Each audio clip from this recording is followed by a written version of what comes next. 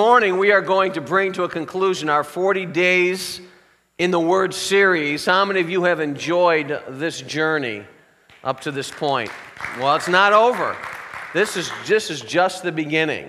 It's been an awesome uh, experience to see how God is stirring up a new hunger, a new passion, a new commitment to God's Word in this community we call Word of Grace. I believe as a result, God is going to multiply in us, individually and collectively, His power, His purposes, His promises uh, in a dynamic way. For this has been a time for us to shrink our excuses, to shrink our butts, so to speak, and to enlarge our willingness to be available to be used by God for His purposes and His plans. Somebody suggested that uh, we ought to have what has been referred to as a no excuse Sunday. Perhaps you've heard this before. To make it possible for everyone to attend church next Sunday, we're going to have a special no excuse Sunday. Wouldn't that be awesome? Cots will be placed in the foyer for those who say Sunday is my only day to sleep. We'll have still helmets for those who say the roof will definitely cave in if I ever come to church. Blankets will be furnished for those who think the church is too cold, fans for those who think that the church is too hot.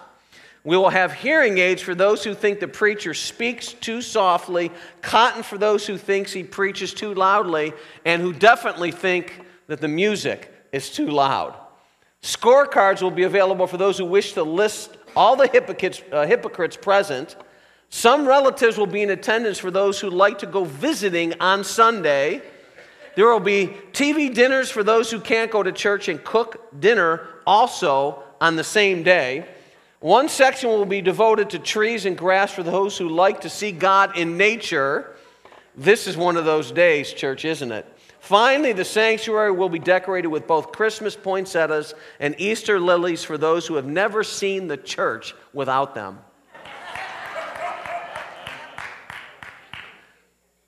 Seriously, next Sunday, we're not going to have a no excuse Sunday because every Sunday should be a no excuse Sunday. Amen? Next Sunday, we are actually starting a new message series that we are calling Limitless.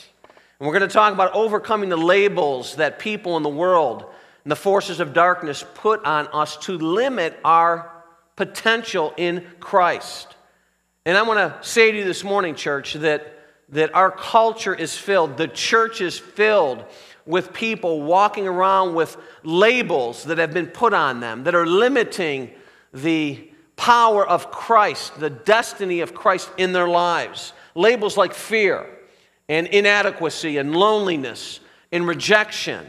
We got a whole list that we're going to be talking about in the month of November. And how many of you know that, that you are more than your past when God holds in his hands your future? How many of you believe that this morning? That's going to be the focus of our Limitless series. We're going to talk about how to discover tapping into the unlimited power that God has for us, how to cast off those labels and to walk in the fullness of the purpose and the plan that God has for our lives. And that truly becomes a reality for you and I when we learn to integrate His Word into our lives and allow the Holy Spirit to instruct us and to teach us. Kind of reminds me of the story of a police officer who pulled a driver aside and asked for his license and registration. Uh, what's wrong, officer? The driver asked. I didn't go through any red lights. I certainly wasn't speeding. To which the officer responded, No, you weren't. But I saw you waving your fist as you swerved around that lady on the left lane. I further observed your flushed and angry face as you shouted at the driver, the Hummer who cut you off, how you pounded your steering wheel when you came to a stop near the bridge. Is that a crime, officer? The man asked. No, but when I saw that Jesus loves you and so do I bumper sticker on your car, I figure this car had to be stolen.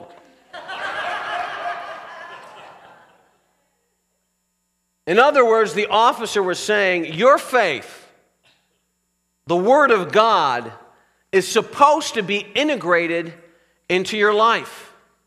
The opposite of integrated or the word integrate, is to segregate. To segregate is to separate into groups. When you segment your life, you live a segregated life. When you take the pieces of a pie, and surely we're entering into pie season. How many of you love pie this morning? Okay, just stop over Patterson's. They got some pretty amazing pies. But if we do life like a pie and we say, This is my personal life, and this is my church life, and this is my business life, and this is my home life, and here's my social life, and you segment your life, then you live a segregated life. Isn't that true? You don't have an integrated life, which means that there's an absence of integrity because the word integrity comes from the word integrate. To have integrity means to live your life integrated as a whole. You don't act one way with a group of people over here, another way with a group of people over there. That's what the Apostle Paul accused Peter of. When he was with the Gentiles, he would act a certain way, and then when he was with the Jews, he'd act completely different. And he kind of blend in with the different customs, but it was not necessarily a positive way. To act the same in all areas of life as a whole means to live an integrated life, a life of integrity. How does that happen? Well, I can confidently say this it's not going to happen if you don't have the desire and the resolve and the commitment to really learn the Word of God, to embrace the Word of God, to make it a part of your life, and then to intentionally apply it to your life. It doesn't happen by chance. This book is not going to get absorbed into your mind, in your spirit. Not going to become a part of your life. You're never going to have the opportunity, occasion to really act on it, to adjust your life along the way, because this book calls us Jesus said, Be perfect as your Father in heaven is it perfect. Well, that's like a high, impossible standard. Unless you understand that when Jesus used the word perfect, he wasn't referring to absolute perfection, was he? No, the, the Greek and the Hebrew words for perfection, when he makes that reference, particularly the Greek word, refers to adjusting and repairing. We are continually adjusting and repairing along the way in our journey as we are becoming more like Christ. Now, we can deal with that, right? That's a little bit easier to embrace and to absorb into our lives. And so it becomes a, a, a, mission of, of integration. It becomes an issue of having the desire. If we're ever going to be men and women of the Word, we have to really make a resolved commitment based on desire to apply Scripture to our lives. Psalms 119 20 says, What I want most of all, David speaking under the inspiration of the Holy Spirit, he's expressing his desire here when he says that. What I want most of all, what I want to be the number one priority in my life, he says at all times, that means it's integrated, not just in certain times or on the first day of the week on Sunday or occasionally, but he says at all times, not just at church, is to honor your laws. David was saying, I want to be a man of the Word. And I want to be a man of the Word every day of the week with the understanding, yeah, we're going to miss the mark. David missed the mark. But he came back and he, re- he realigned and readjusted. He adjusted and repaired along the way with God's help and His grace and His forgiveness and His mercy and His love. Why? Because you know what, church? Every one of us here today, we are a work in progress. We are on a journey. We are adjusting, repairing, realigning, reconnecting to God's purpose and His plan for our lives. And we need to teach our, our children and our children's children to do the same. That if you make a mistake, that doesn't mean that God's going to cut you off once and for all. You know, no, He wants to, to pick us back up. And we need to teach our children how to get back up. It's not about whether you're going to fall, it's about whether you're going to know how to bounce back and get back up again, to get back into that race that we've been talking about in weeks past. How do you do that? Well, actually, what we've been doing over the last uh, five weeks and now into our sixth week is we've been looking at five principles, now six today we're going to look at, six principles based on six memory verses that give us the six steps in how to integrate God's Word into our lives. Those memory verses were not just kind of chosen by happenstance, not randomly. Each one of the, those gives us a, a revelation to a step in the process of how to integrate God's Word into our lives. So let's just kind of rehearse those. That's what I want to do today. We're going to just kind of highlight those. First of all, we learned that we need to build our lives on God's Word. That's the first step in the process of integrating His Word into our lives. In other words, we need to learn to make the Bible the foundation of our lives. Whatever the foundation is will determine how big the structure is on top of it. So we have to learn how to spiritually if we're going to build a spiritual house, how to build our lives on the foundation of God's Word. That is what Jesus was talking about in Matthew 7 in the famous Sermon on the Mount. In Matthew 7 24, he said, Whoever hears these words of mine, one of our memory verses, and puts them into practice is like a wise man who built his house upon a rock. Verses in the context of the story the man or the woman who builds their house upon the sand that shifts and moves and has no stability. That's one of the memory verses. He's saying, build your life on sand or build your life on the rock. If you build your life on the rock of truth, you do it with the understanding that truth never changes. The truth of His Word, because it's eternal in nature, never changes. It doesn't shift with popular opinion or what happens in popular culture, if you build your life upon that and it changes, where does that leave you in the time of difficulty, in the time of crisis? You need to say, first off, God, I'm going to build my life on this book, on your word as my sure foundation. In fact, there are times when I don't even feel like building my life on your word but I'm going to do it anyway, by choice, as an act of faith. I'm going to do it consistently. I'm going to do it regularly.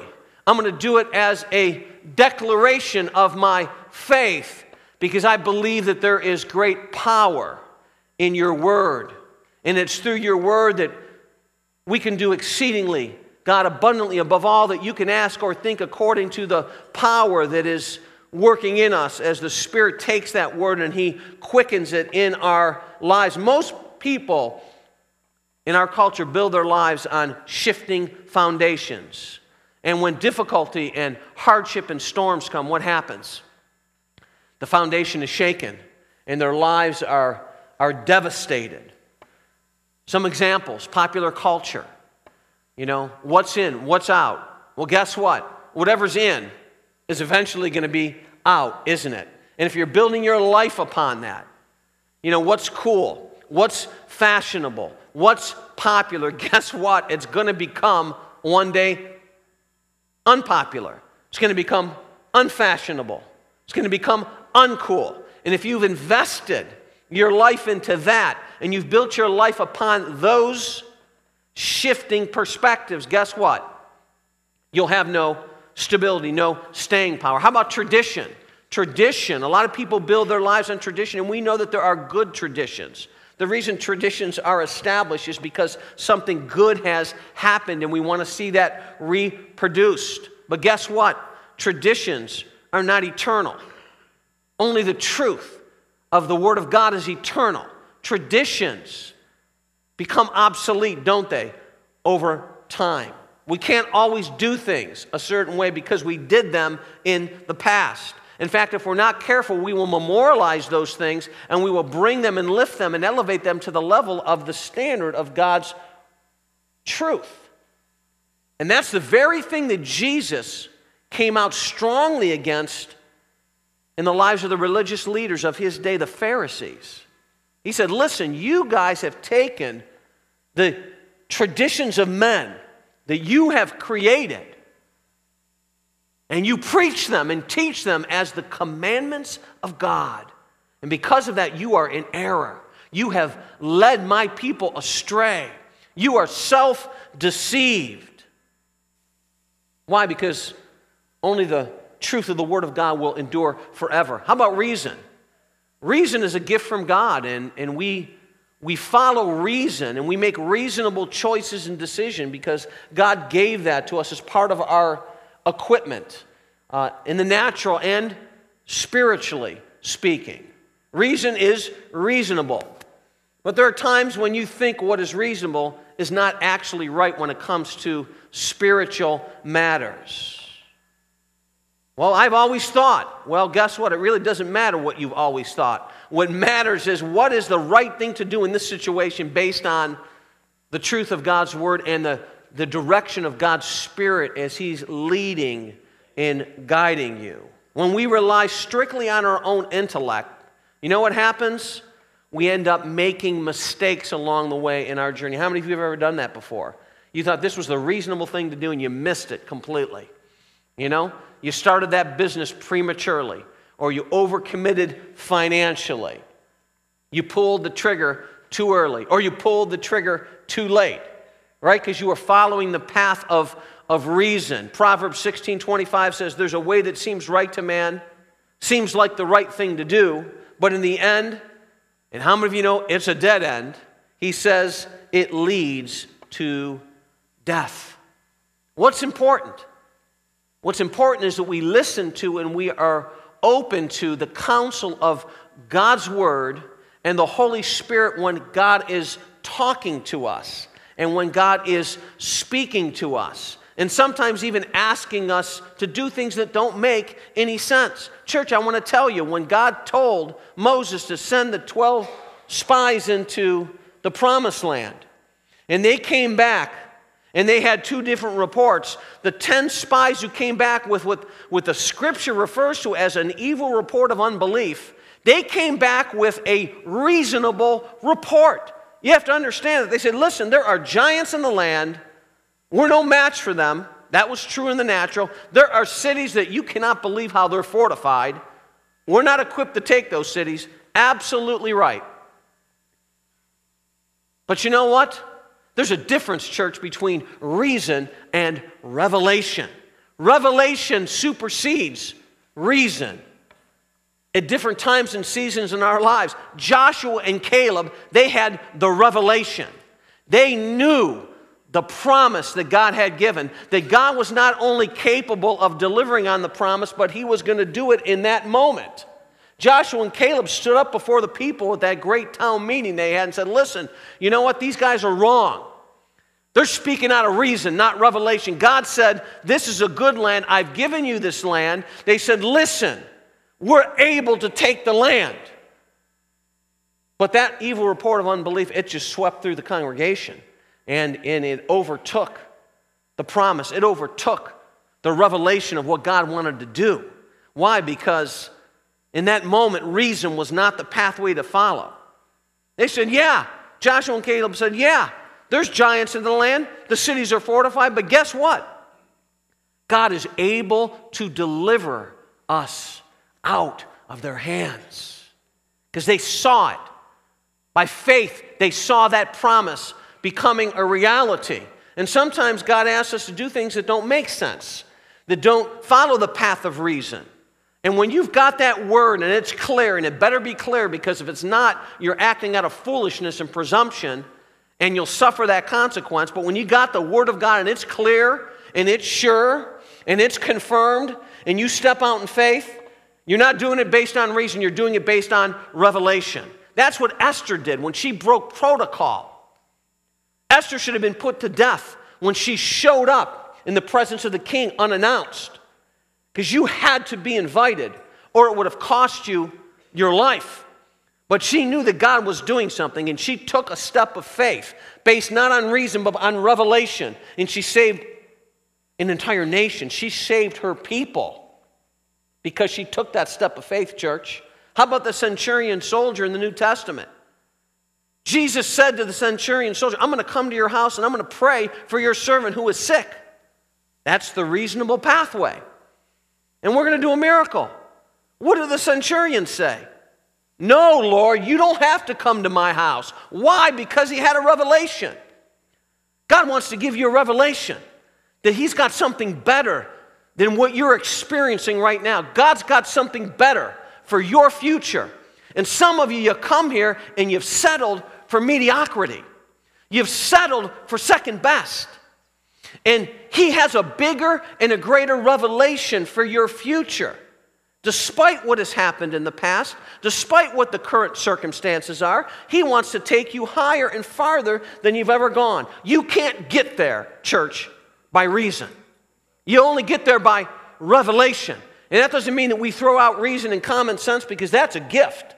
But there comes a time in the journey when you have to listen to God's word and you have to listen to the revelation and allow the promises to speak to you. The centurion soldier said, Listen, Lord, I'm a man under authority. There's the revelation. I'm a man under authority. You speak the word. You speak the word because when I speak the word and I say to my servants, You go here and you go there, they go because they're under authority. I'm under the authority of your word. That's a revelation. Say the word. Only say the word, and my servant will be healed. And the scripture says that Jesus was absolutely captured in that moment. He was blown away. He was astonished to the extent that he said to the whole crowd that gathered, I have not found this kind of faith in all of Israel.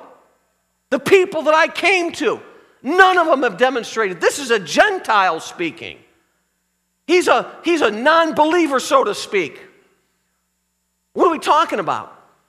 What you're building your house upon. The revelation of God's Word is a sure foundation, one that we stand upon. People are building their houses upon popular culture and, and tradition and reason, and sometimes even emotion. Some people build their lives simply on emotion, on feeling. If it feels right, I do it. If it feels wrong, I don't do it. Kind of runs consistent with the popular line from the song we've all heard from the 70s. It can't be wrong when it feels so right. Anybody remember that? If you go back that far? There's a problem with that. Feelings can lie to us. In fact, they lie more often than not. Sometimes you feel like things are going great, and guess what? They're not. Other times you feel like the, the, the whole world is caving in, and you know what? Things are actually going pretty well. And something big is about to happen. And you're this close, and you don't realize it. You're that close to, to a breakthrough happening.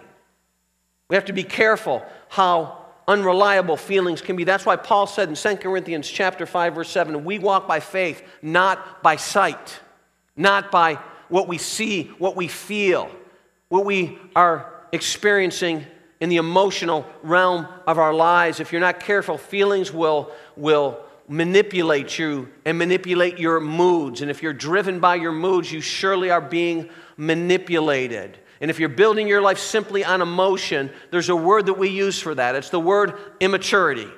Immature people, immature Christians live their lives by their emotions and their feelings and their moods. We live first by faith, secondly, by sight.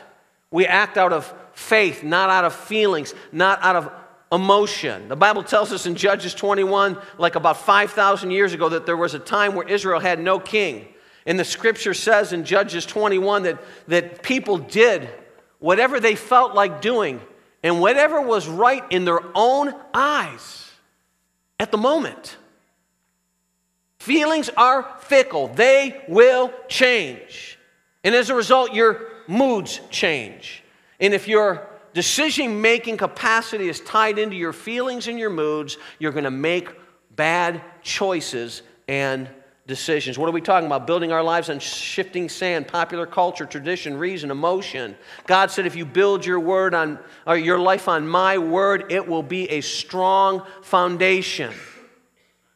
If that's the the groundwork that is being laid. Then you'll learn how to feed on my word. That was a, another major step in the process uh, that we talked about. Step number two is feeding on the word of God. Colossians 3:16. Do you remember the memory verse? Let the, the word of Christ richly dwell in us.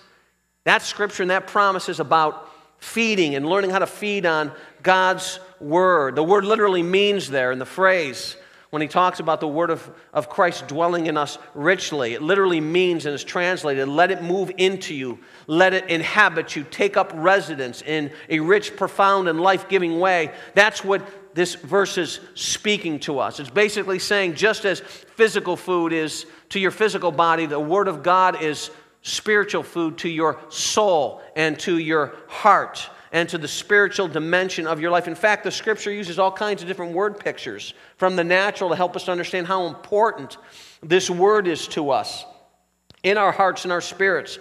Uh, words like water and milk and bread and the meat of spiritual life and living.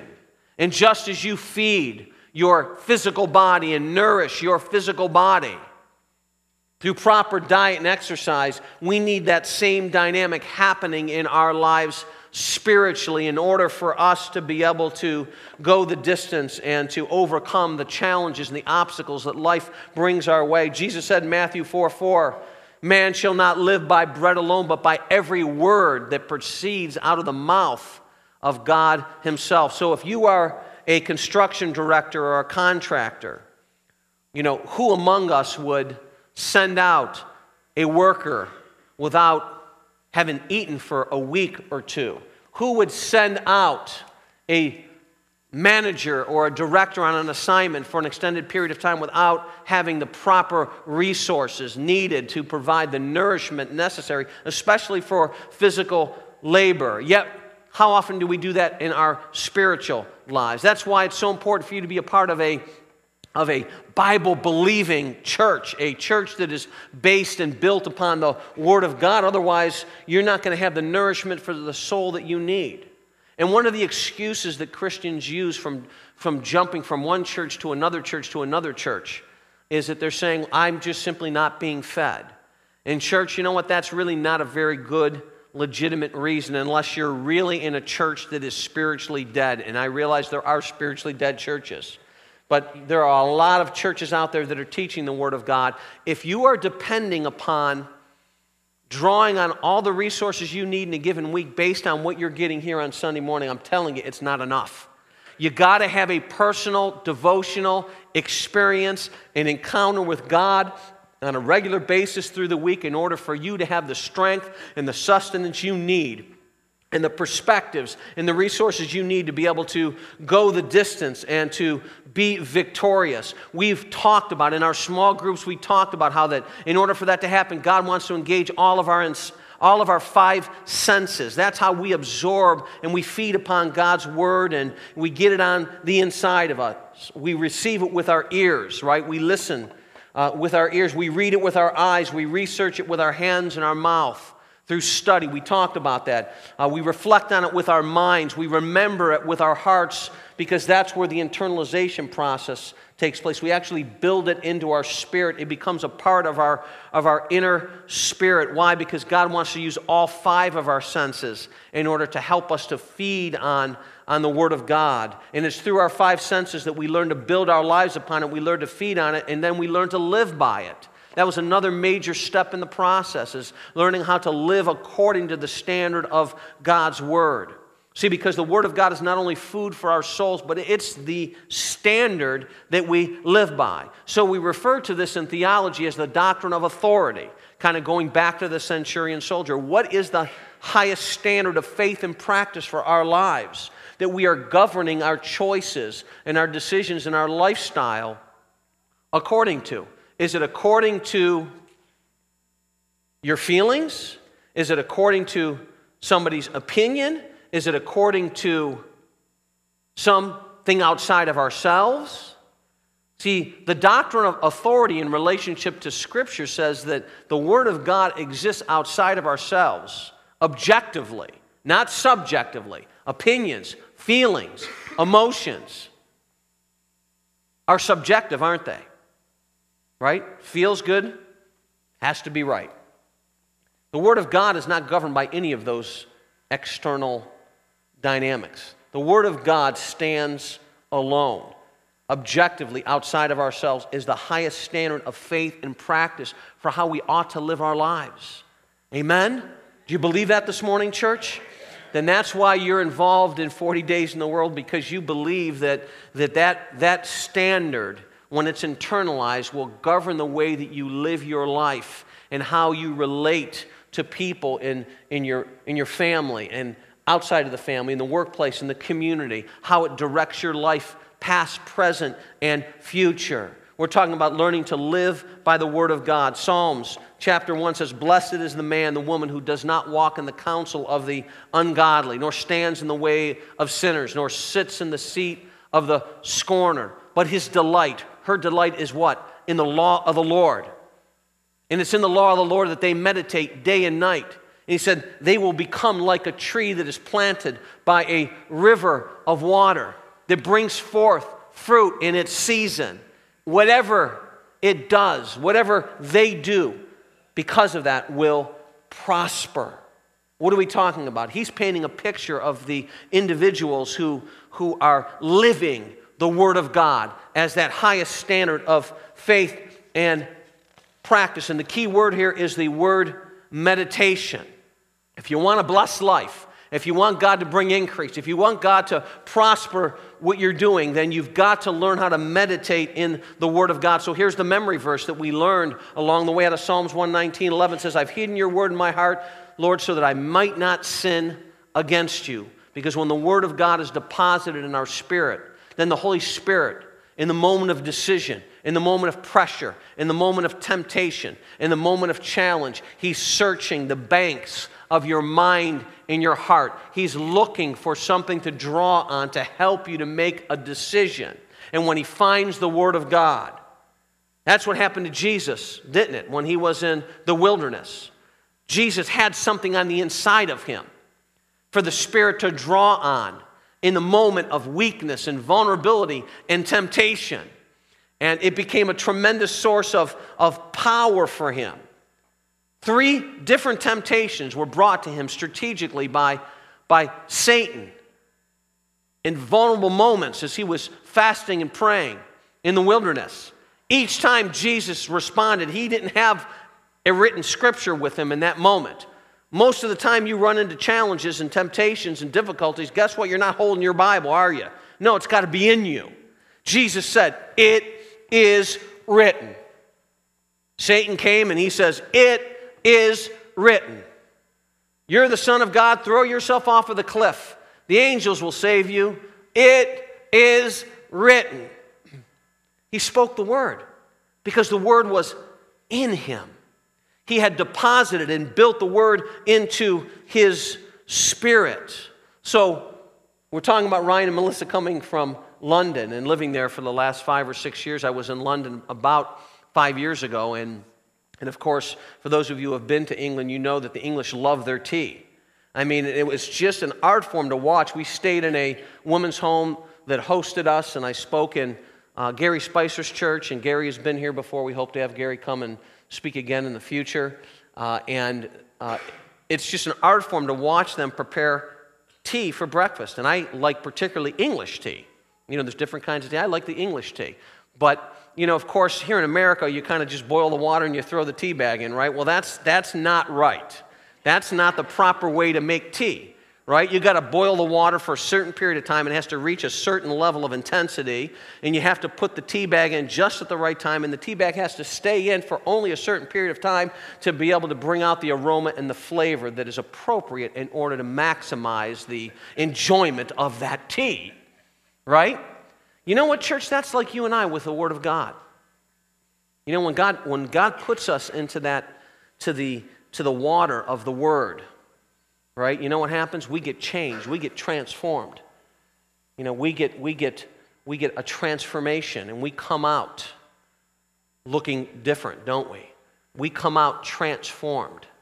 Um, and there is the aroma and there is the flavor of, of the presence of God and the power of God being expressed in our lives. Because when we are living it and it's our highest standard of faith and practice, then we can start to grow through it. We can grow through the Word of God, and it actually begins to, to change the way that we are communicating, living, and the way that we are acting in our lives. That's why David said in Psalms 119, verse 18, growing through it is a, another step. He said, Open my eyes and I may see wondrous things in your law. There's amazing things in the Word of God that you and I have never seen about our lives because we've not yet had the opportunity for the Holy Spirit to open up our eyes. It's about, it's about us growing through the Word. When the Word of God passes through our lives, it changes us, don't we? We, it, it, changes us, and we become different because of, of how it affects our lives. That's why Peter said, Desire the pure milk of the word that you may grow thereby. It's about what he's producing in us.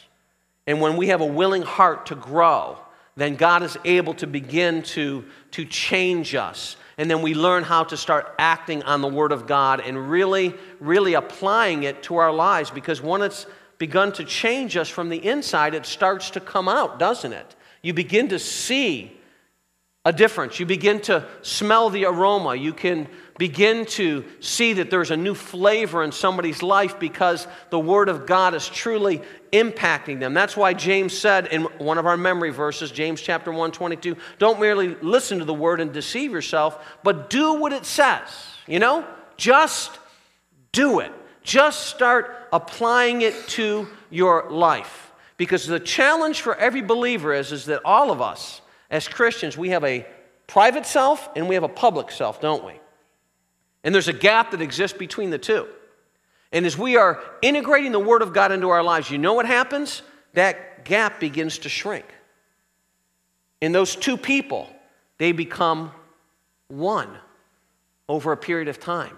The gap gets shrunk because the difference between the two begins to, to evaporate. It is eliminated over a period of time. That's why Joshua said, and this was the, the mandate that God gave to Joshua before they went into battle in Joshua chapter 1, verse 8. God told Joshua, Do not let the word depart from your mind or your heart or your eyes. He said, You meditate on it day and night.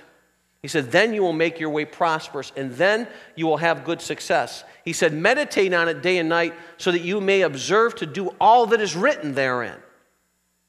The reason you meditate on it, the reason why you internalize it is so that you'll act upon it. And he said, when you act upon it, when you observe it to do it, he said, then you'll make your way prosperous, then you'll have good success. So there comes a point in time where the rubber meets the road. We've prayed, we've read, we've studied, we've memorized, we've internalized, we're growing, we see it as the highest standard of faith and practice. You got to then get on the playing field and just begin to do it.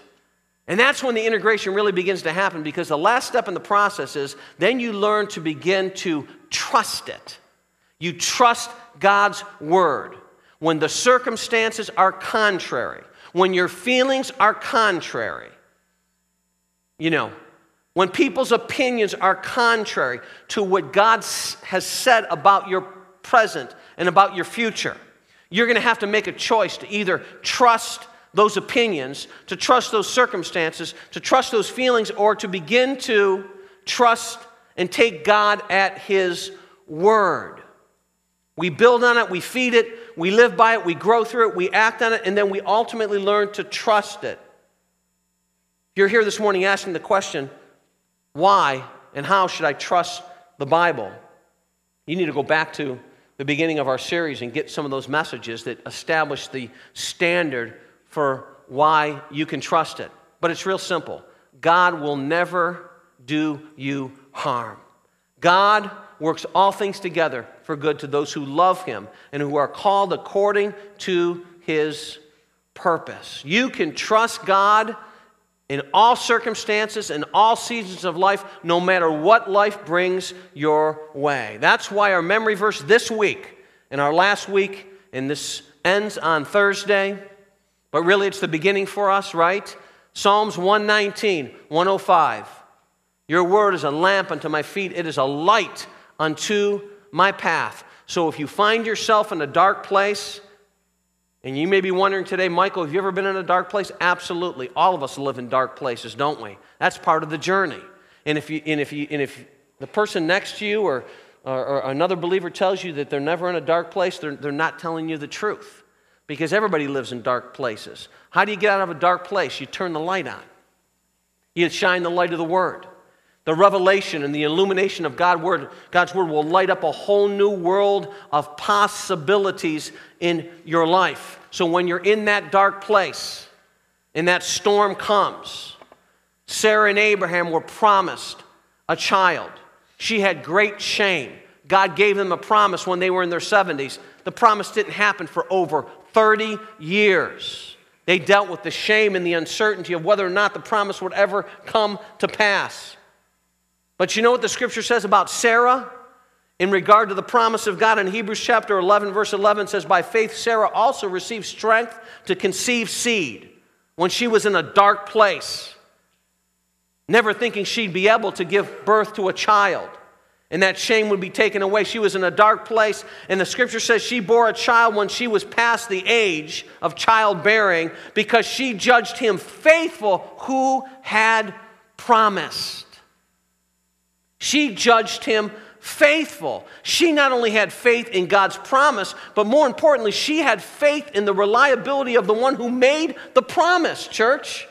When she was in that dark place, she knew that the Word of God was a sure foundation, that the promises of God were yes and amen, that they could be trusted as the highest standard of faith and practice, that there was no shadow of turning in the Creator when He declares a thing, that it was 100% sure and true, could be taken to the bank. And miraculously, they gave birth to the promised child, didn't they? Isaac, from which a whole spiritual and a natural race of people have come forth. The Jews in the natural and all believers in the spiritual realm have come forth from that promise. So, church, when you have had bad things happen to you and bad things happen to good people, I'm here to tell you God is faithful because He spoke it and He declared it. And when He speaks it and He declares it, it will come to pass. When you get that pink slip, God is faithful. When you get that bad diagnosis, God is faithful. When you get that unexpected phone call, God is faithful. When you fail miserably and you are yourself disappointed, God is faithful. And He will never let you down. So, my question to you today is what are you trusting God for today that only God can do? And when He does it, it'll be so obvious that it's Him that only He can be glorified for it and by it with your heads bowed and your eyes closed, just quickly before we close our service, I want to give you an opportunity this morning because some of you have come here and you are trusting God to do something really big in your life. You're trusting God for something. You're holding on to promises today. Some of the things that I described just a few moments ago, that's you. Say, Michael, I need God to do something today. I need God's strength. I need God's perspective. I need God's word to just, just change me from the inside out and to strengthen me. You're trusting God today to do something in your life. If that's you, say, Michael, pray for me. Just quickly put your hand up. Thank you for hands just going up across our gathering. Maybe you're listening online today. God wants to touch you today. You know, the biggest miracle that any person can do or experience that God can do in a person's life is when you put your trust in Him for your eternal salvation. If you're here this morning and, and you don't have the assurance of your salvation, that you're right with God, and if this was your last day on planet Earth, that heaven is your home, if that's you and you want to put your trust in Christ, quickly put your hand up and say, Michael, pray for me. I want to give everyone an opportunity if you've never done that. Thank you. Others, you maybe you need to rededicate your life to Christ, and He's calling you back in this series. Put your hand up. I want to pray for you. You're listening online, this will be an opportunity for you as well. Okay. I'm going to pray for the first request in a moment, but those of you who said, I want to put my faith in my trust in Christ, I'm going to give you an opportunity to do that. We do that by just confessing what we believe in our hearts, and we're going to make a profession of faith. And I'm going to ask you as a congregation to join me in making this profession, and especially those of you who raised your hand. God's going to do a miracle in your life, it's going to change your life. You're going to be born of the Spirit, and something is going to to happen on the inside of you.